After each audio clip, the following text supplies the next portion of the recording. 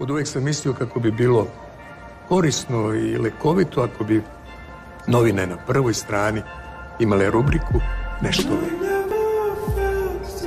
Jer uprkos bedi i nevolji život ipak prazan, svečanost. Pa i ako nije, neka bude. Mislite da je nepristojno objaviti ja sam srećan čovjek. Jeste, mnogi srećni ljudi strepe da se pohvale srećom, da, da ne ureknu. Plaše se da im se sreća iznenada ne preobrati u nesreću. Vidite, ti već nisu srećni. Jer sreća i strepnja ne idu zajedno. Onaj koji strepi nije srećan. Umjesto da pevaju i slave Boga što su srećni, oni potajno misle da su krivi što su srećni.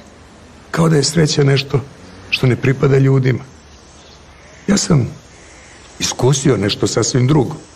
Sreće i radosti ima u izobilju. Nesreće i mučnine mnogo je manje.